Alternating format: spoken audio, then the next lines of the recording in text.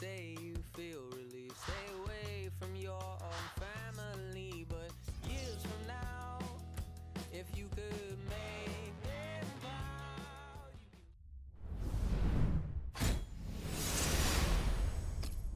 to do, but honestly, I don't feel ordinary, cause I haven't been at home in a while.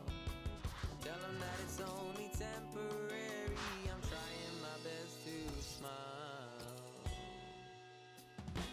it's never enough.